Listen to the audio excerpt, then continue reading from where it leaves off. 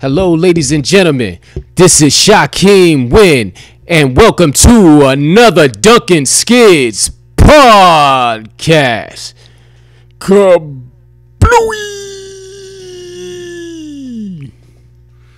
Hello, ladies and gentlemen. This is Shakeem Winn, and I am the creator of Dunkin Skids.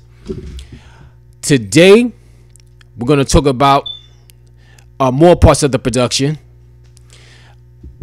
About two weeks ago, we just finished the Dunkin Skids theme song. My cousin Hassan Denard and I we worked on that, and I have to say it came out really well. And here's the and here's the problem.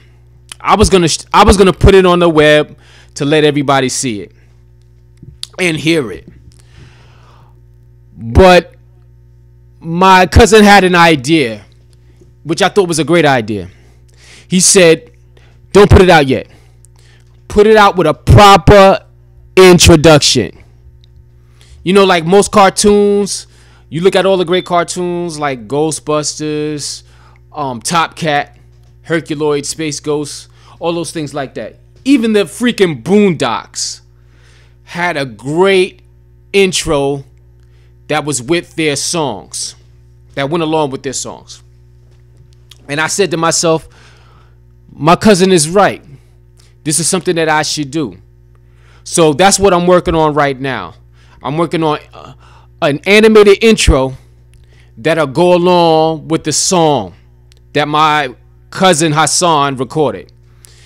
The song is great. It's fantastic. I can't wait for you guys to hear it. I'm really proud of it. I watched him put this thing together in like 15 minutes. Like I said before, my cousin is a genius. And the song basically gives you, like all great introductions should, it gives you insight into the story before you actually see the story progress in the episode everything that you need to know about Dunkin Skids is in that first intro. And my cousin understood that. He understood what makes a great intro to a cartoon show. I mean, what makes a great song to a cartoon show. And what he did was he looked at all of the cartoons of the past. Not the cartoons that you see now you know, most cartoons that you see now, they don't have an intro. They just have a little tiddly tank song. Uh, more like a a musical montage. But no. He created a song that was in the tradition of the Boondocks, yet was set apart from it. And it was great. And so that's what so that's what's been done. And that's what we've recorded. And now I'm just animating the intro to that. Also, I'm going to cut a trailer together very soon.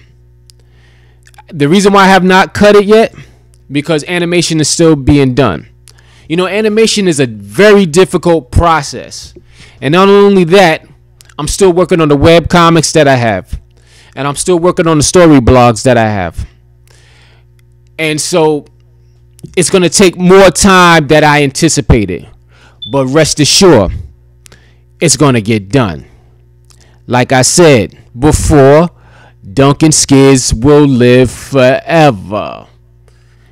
As long as I live, Dunkin will live.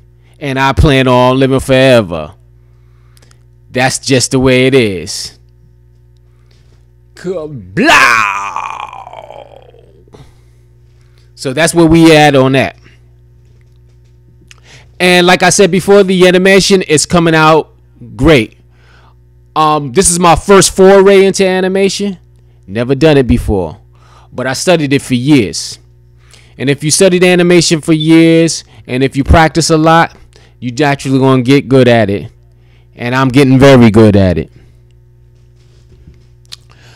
Also, what I want to talk about is the web comic.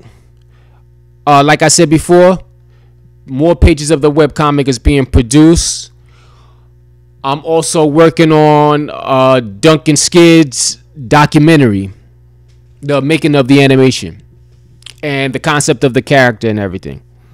So my cousin will be helping me produce that as well. We start filming pieces of that tomorrow.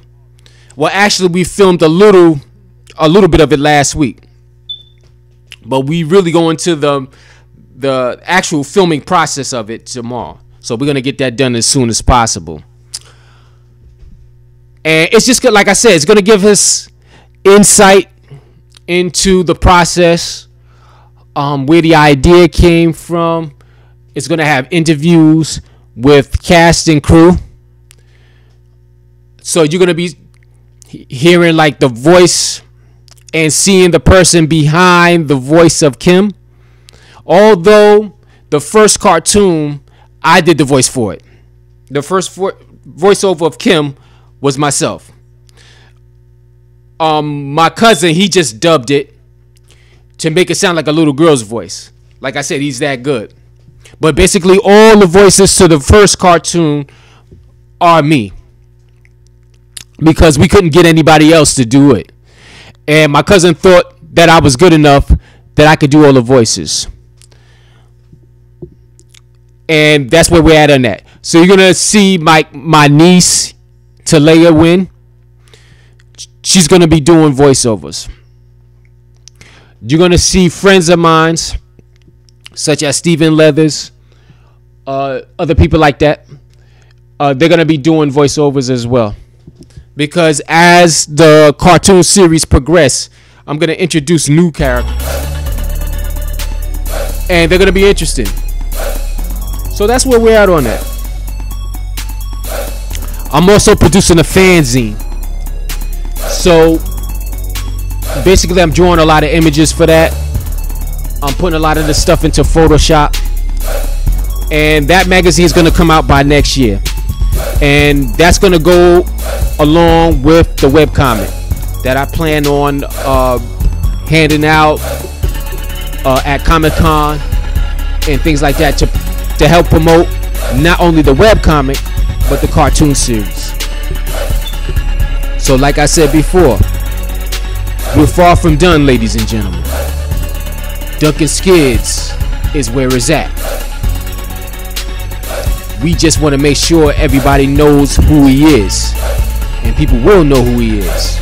Because as I said before, Dunkin Skids lives forever.